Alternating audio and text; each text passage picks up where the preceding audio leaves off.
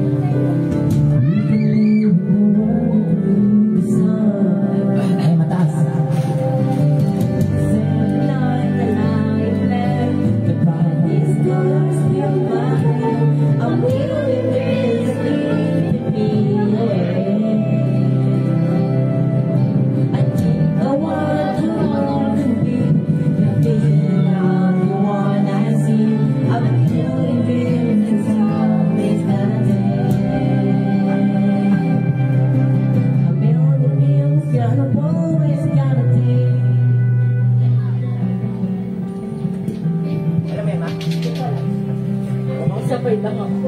Sa sabay.